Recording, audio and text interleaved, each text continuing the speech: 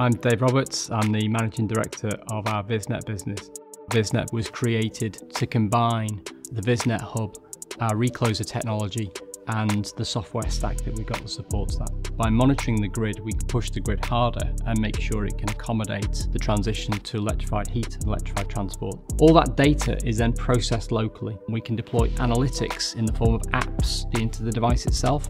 We can then visualize that data and really bring it to life for our customers.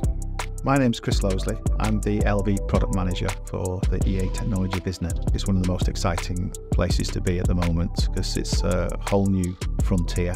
In particular, electric vehicles, solar, heat pumps, all these things are being attached to the low voltage network now. How can we get more visibility and how we go about improving the networks and keeping the lights on? One electric vehicle uses about the same amount of energy in one year as one house. So if you take the 26 million homes that we've got and then look at the 32 million vehicles we've got in the UK, it's almost equivalent of doubling the housing stock.